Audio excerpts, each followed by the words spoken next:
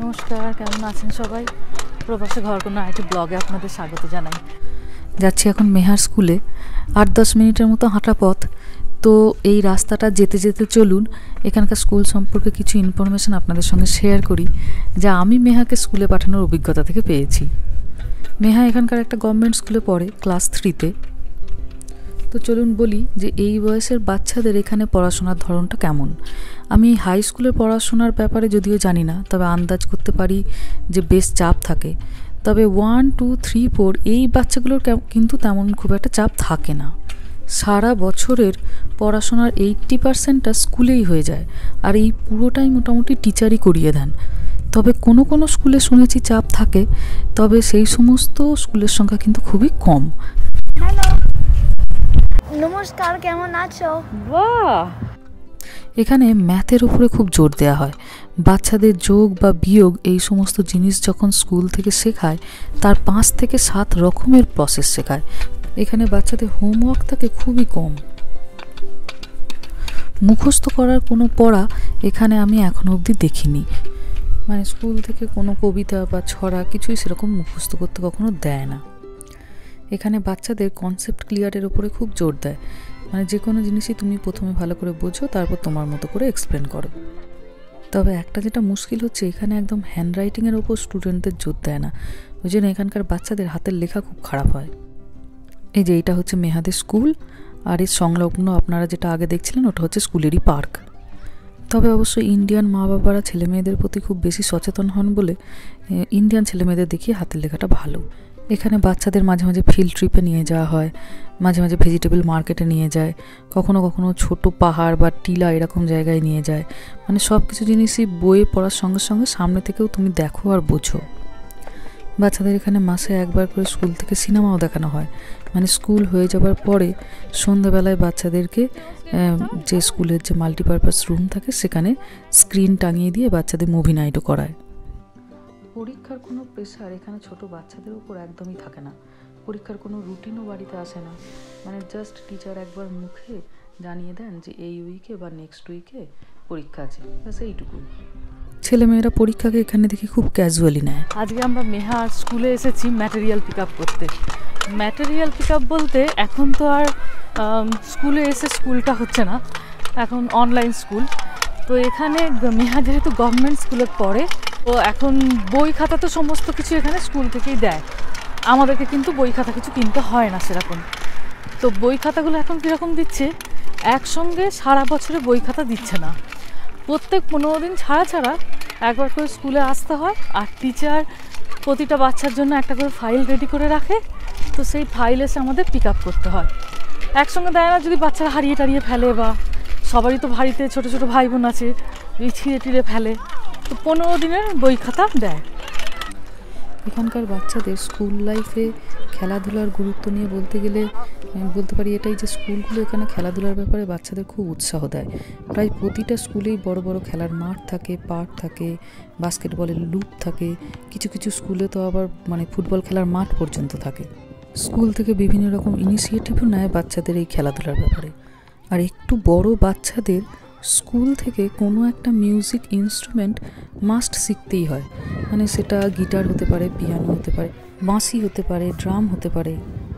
এখানকার টিচারদের নিয়ে বলতে গেলে আমি এটাই বলব যে এখানকার টিচাররা খুব এনার্জেটিক হন। যখনই নিজে টিচারের সঙ্গে কথা বলতে গেছি বা কাউকে কথা বলতে দেখেছি, তো দেখেছি এনারা সবসময় বেশ কথাবার্তাগুলো ধীরে সুস্থে শোনেন প্রবলেমগুলো সলভ করার চেষ্টাও করেন।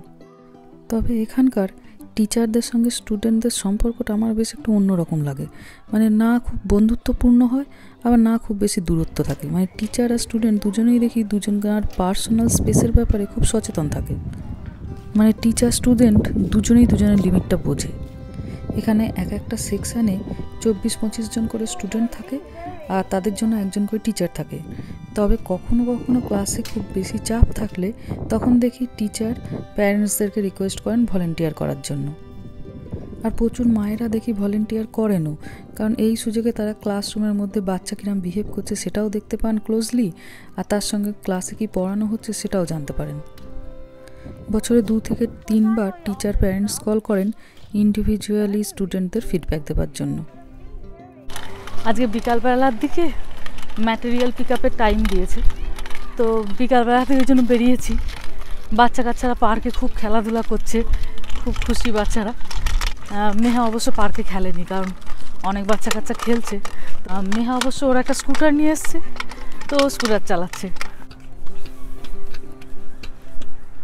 এই যে এইটা হচ্ছে মেহার পক্ষীরাজ। ঠান্ডা লাগছে? হ্যাঁ।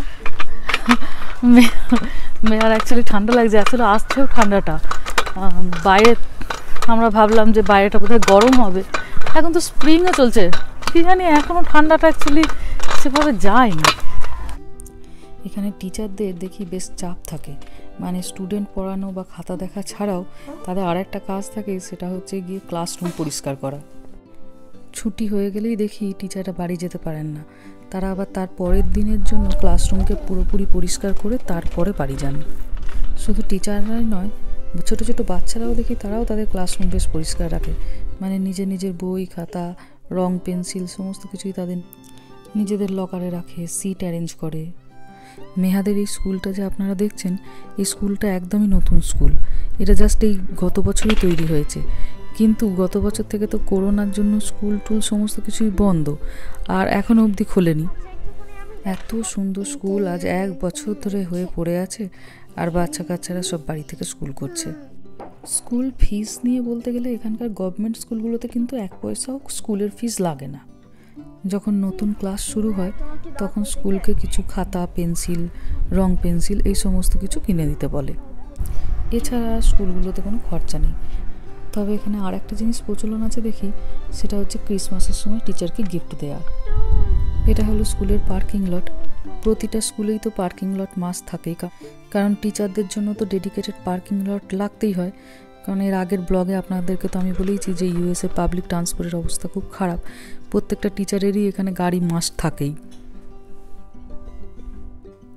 স্টুডেন্টরা এখনও অবধি স্কুলে আসে না ঠিকই, কিন্তু টিচার বা অন্যান্য যে টেকনিক্যাল স্টাফেরা থাকেন, তাদেরকে এখন স্কুলে আসতে হয়। এখানকার স্কুল নিয়ে আরও যে সমস্ত কমন প্রশ্ন, যেমন স্কুল লাইফে কটা পাঠ হয় টিচারদের এখানে স্যালারি কেমন হতে পারে, স্কুলের গ্রেডিং এখানে কিসের উপর নির্ভর করে, এই ধরনের আরও অনেক ইন্টারেস্টিং ইনফরমেশান আমি আপনাদের সঙ্গে শেয়ার করব এর সেকেন্ড পার্টে কারণ একটা ব্লগের মধ্যে সব কিছু বলতে গেলে ভিডিওটা অনেকটা বড় হয়ে যাবে। পিক আপ হয়ে গেছে আমাদের। তো আমরা এবার বাড়ি যাচ্ছি।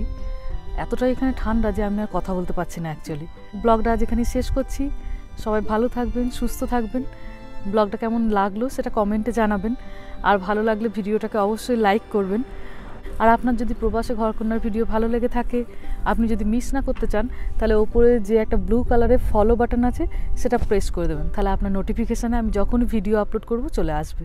সবাই ভালো থাকবেন, সুস্থ থাকবেন।